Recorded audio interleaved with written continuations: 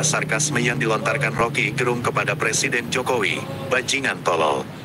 Istilah ini semakin relevan setelah peristiwa-peristiwa terkini, termasuk keputusan Jokowi yang membagikan kondom melalui PP. 28 tahun 2024 dengan alasan edukasi kesehatan, dan rencana perayaan Hari Kemerdekaan di IKN dengan menghamburkan uang untuk acara yang dirasa tidak bermanfaat. Maka, dari analogi kepribadian antara Jokowi sebagai Presiden RI dan Ahmad Syaihu, Presiden Partai Keadilan Sejahtera PKS, yang kabarnya tidak akan memberikan tiket untuk Anies di Pilgub DKI, muncul pertanyaan, apakah kedua pemimpin ini memiliki corak etos yang sama? Seorang pemilik akun Twitter bernama Wapres Spanyol menanggapi status Ali Syarif dengan berkata, kalau begitu, Ketua Umum PKS juga bajingan tolol, dong. Tindakan PKS yang digambarkan ini tidak hanya mencederai Anies secara pribadi, tetapi juga menyakiti banyak konstituen PKS, sebagaimana diungkapkan di berbagai media sosial. Pernyataan sarkastis, bajingan tolol, yang ditujukan kepada Presiden PKS dan Jokowi tampaknya memiliki kesan bahwa kedua tokoh ini memang memiliki kemiripan dalam cara mereka mengkhianati pendukungnya.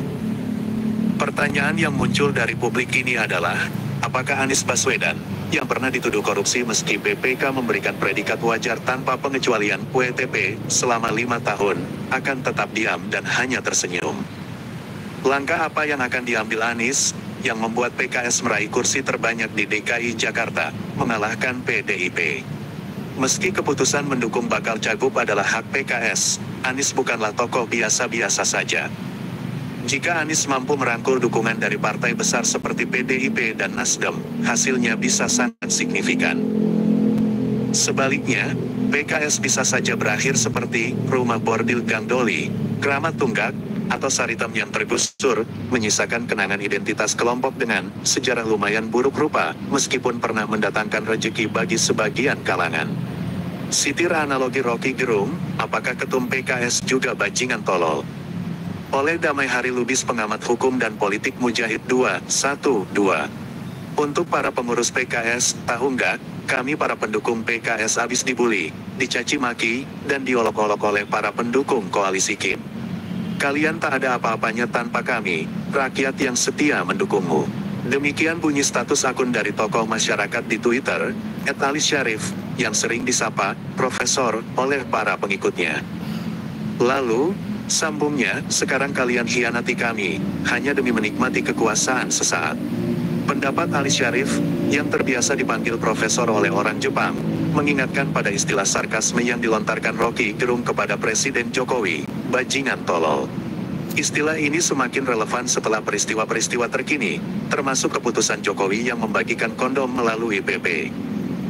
28 tahun 2024 dengan alasan edukasi kesehatan, dan rencana perayaan Hari Kemerdekaan di IKN dengan menghamburkan uang untuk acara yang dirasa tidak bermanfaat. Maka, dari analogi kepribadian antara Jokowi sebagai Presiden RI dan Ahmad Syaihu, Presiden Partai Keadilan Sejahtera PKS, yang kabarnya tidak akan memberikan tiket untuk Anies di Pilgub DKI, muncul pertanyaan, apakah kedua pemimpin ini memiliki corak etos yang sama? Seorang pemilik akun Twitter bernama Wapres Spanyol menanggapi status Ali Syarif dengan berkata, kalau begitu, Ketua Umum PKS juga bajingan tolol, dong.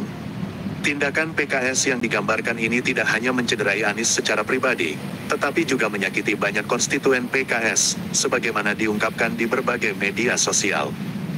Pernyataan sarkastis, bajingan tolol, yang ditujukan kepada Presiden PKS dan Jokowi tampaknya memiliki kesan bahwa kedua tokoh ini memang memiliki kemiripan dalam cara mereka mengkhianati pendukungnya.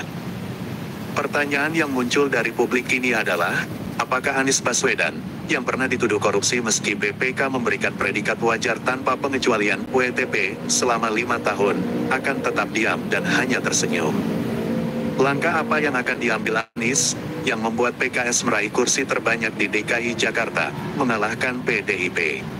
Meski keputusan mendukung bakal cagup adalah hak PKS, Anies bukanlah tokoh biasa-biasa saja. Jika Anies mampu merangkul dukungan dari partai besar seperti PDIP dan Nasdem, hasilnya bisa sangat signifikan. Sebaliknya, PKS bisa saja berakhir seperti rumah bordil Gang Doli, Keramat Tunggak, atau Saritem yang tergusur, menyisakan kenangan identitas kelompok dengan sejarah lumayan buruk rupa.